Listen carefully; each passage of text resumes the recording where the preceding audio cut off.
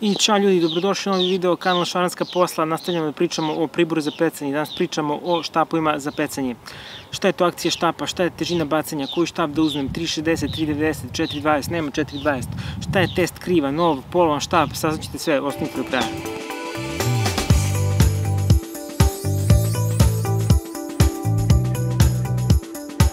Štap za pecanje je svakako centralna figura vašeg ribolovačkog pribora i mislim da bi trebalo da predstavlja svakako najznačajniju ili najveću investiciju u isti.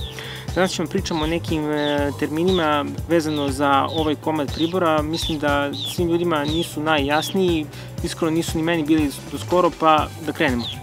Pre svega pričamo o snazi štapa, odnosno šta je to test kriva ili test curl, kako kažu englezi. Reč je o sili koja deluje na štap, odnosno koja treba da deluje na štap da bi se isti iz pravog položaja savio pod uglom od 90 stepeni. Znači, ukoliko štap stoji pravo, potrebno je da na njega deluje određena sila da bi se isti savio pod uglom od 90 stepeni test kriva se meri u librama i tako vidimo oznake štapova 3 libre, 3,5 libre i tako dalje. Konkretno znači da štap od 3 libre potrebno je da na njega deluje sila od 3 e, libre da bi se savio iz pravog položaja u položaj od 90 stepeni. Znači jedna libra iznosi 453 grama, pa puta 3, što je otprilike kilogram i 300, znači potrebno je da opteretimo štap od 3 libre sa e, kilogram i 300 tereta da bi se on savio u, pod uglom od 90 e, stepeni.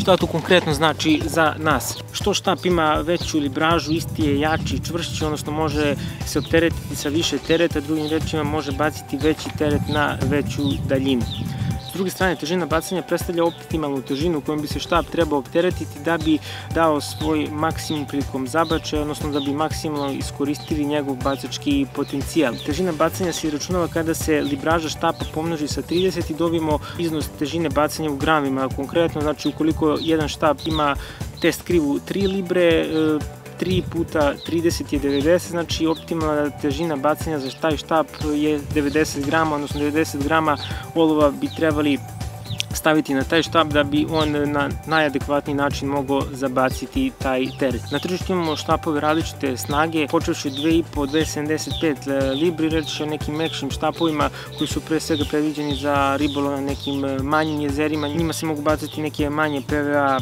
kesice, štapovi su po pravilu meki i daju lep osjećaj prilikom zamaranja ribe, ali s druge strane njihove bacačke sposobnosti nisu, da kažem, izražene, pa se najčešće koriste na, za pecanje na kraćim relacijama, odnosno na terenima gde se ne treba daleko zabaciti. Optimalna neka težina kojom se ovi štapovi mogu opteretiti recimo neki 70-80 grama. S druge strane imamo štapove od 3 libre i mogu da kažem da su oni najrasprostranjeniji na tržištu, predstavljaju all-roundere, znači štapove koji pokrivaju sve terene. Njima se može zabaciti do 100 metara, sve zavisi od vaših bacačkih sposobnosti. Meki su na ribi, a s druge strane imaju i dovoljno snage da izbace PVA i baš mamac na daljinu koju želite. Mislim da bi neka optimalna težina kojom bi svoj štap trebao peretiti neki 90 grama, naravno se zavisi od štapa do štapa. Štapovi od 3 libre su predviđeni za bacanje nekih većih tereta, većih PVA, kesica, pecanje na većim daljinama, oni su sami po sebi i čvršći, krući štapovi, Iako su predviđeni za bacanje većih tereta, oni e, često ne gube na svojoj akciji, odnosno na osjećaju prilikom e, zamaranja ribe. Ukoliko pecate na nekim većim daljinama, ukoliko koristite PVA kesice, potreban je dalek precizan zabačaj, mislim da bi štapovi od 3,5 libre svakako bili pravi izbor ok, sve ovo kad sam rekao, postoje se pitanje koji štap e, izabrati. Mislim da bi trebali da se rukovodite time gde najčešće pecate, odnosno koji su to tereni na koje najčešće izlazite. Ukoliko ne pecate neke daljine preko 100 metara, mislim da bi štap od 3 e, libre, 3,25 libri mogo sasvim da vam zadovolji ove potrebe. S druge strane, ukoliko pecate na većim e, daljinama, koristite veće PVA kesice, mislim da bi štap od 3,5 libre bio pravi izbor. Ja lično koristim štap od 3 i polibre koji je dosta jak, koji može dosta zabaciti daleko, a opet s druge strane ima fin osjećaj prilikom zamaranja ribe. Ok, pričamo dalje. Šta je akcija štapa? Rekli smo da je snaga štapa da se meri u sili koje je potrebno da se štap e, optereti kako bi se savio pod uglom od 90 stepeni, a akcija predstavlja mesto gde se to savijanje vrši.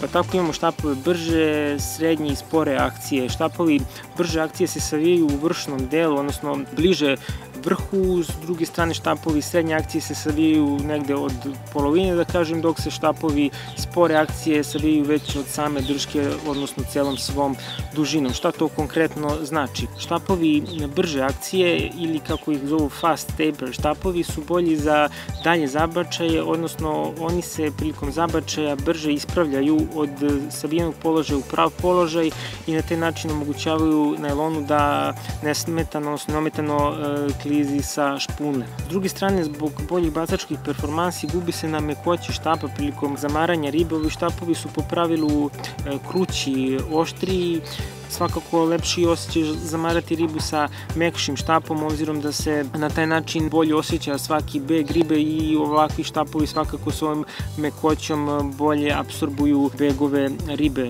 Takođe, ukoliko štap suviše krut, može se desiti da ne absorbuje na adekvatan način udarce ribe, pa se često dešava i gubitak ribe i to blizu obale, odnosno blizu meredova. Takođe, poslija se pitanje koji štap uzeti, da li štap brže ili sporije akcije, pa mislim da bi opet trebalo poći od toga gde pecate, ukoliko vam je daljina imperativ, svakako bi trebalo da pogledate štapove brže akcije, odnosno oštrije štapove, dok ukoliko pecate nekim e, manjim jezerima, mislim da bi trebali potražiti neki štap e, mekše akcije. Ok, sledeća stavka jeste dužina štapa. Da li uzeti duži, kraći štap, e, rekli smo najčešće se kod nas prave štapovi od 3,60, 3,90, ima i štapova kraćih od 3 metra, 3,30, ali se oni nešto ređe koriste. Da skratimo priču, duži štap je bolji za dalji zabačaj, mislim da je to apsolutno netačno, neki smatraju da nižim ljudima zapravo više odgovaraju kraći štapovi, ja mislim da to nema veze, da ćete sa štapom koji je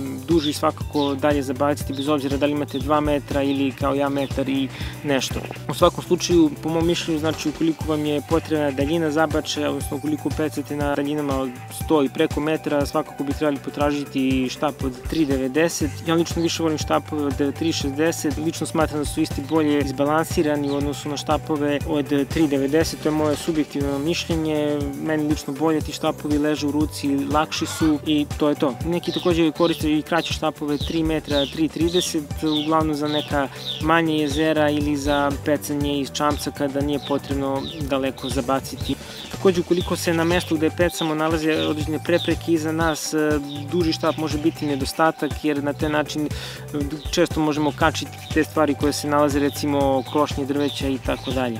Ukoliko vam se sviđa ovaj video kao i ovo ostalo što radim, kliknite na like, pretplatite se na kanal i tako ćete uvijek dobiti novu informaciju kad izbacim video. I najzad, e, pitanje koje se može postaviti kod kupovine štapa jeste da li uzeti nov ili polovan štap.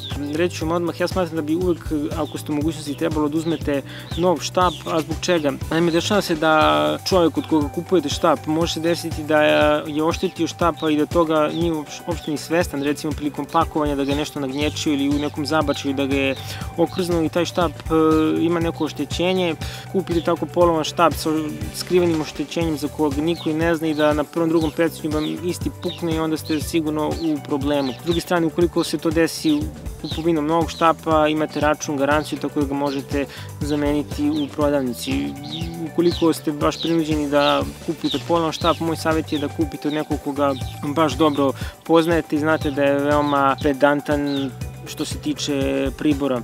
Inače, štab za pecanje je dosta delikatna stvar, obzirom da isti štab može recimo meni odgovarati savršeno, drugoj osobi ne. E, takođe, cena štapa uopšte ne mora biti neki kriterijum, može se desiti da date velike pare za štap, da vam isti prosto ne leži. Zato bi bilo najbolje ukoliko ste u prilici štap pre kupovine probate. Mislim da proba u radnji ništa ne govori o štapu ukoliko ga malo protresete u prodavnici. Najbolje bi bilo da ga probate negde na vodi. To naravno uvek nije mogućnost, ali svakako je poželjna stvar. U ovom videu ja vam neću preporučivati neke modele upravo zbog svega ovoga što sam rekao.